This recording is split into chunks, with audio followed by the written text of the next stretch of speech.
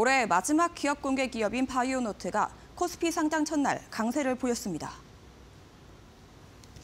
오늘 바이오노트는 시초가보다 6.71% 높은 1,650원에 거래를 마쳤습니다.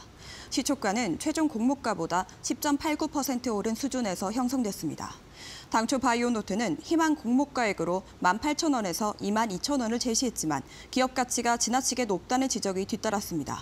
결국 바이오노트는 소요 예측에서 부진한 성적표를 받고 공모가를 9,000원으로 절반 이상 낮췄습니다. 이에 희망 공모가 기준 최대 2조 원대로 예상됐던 시가총액도 1조 원대로 대폭 줄었습니다.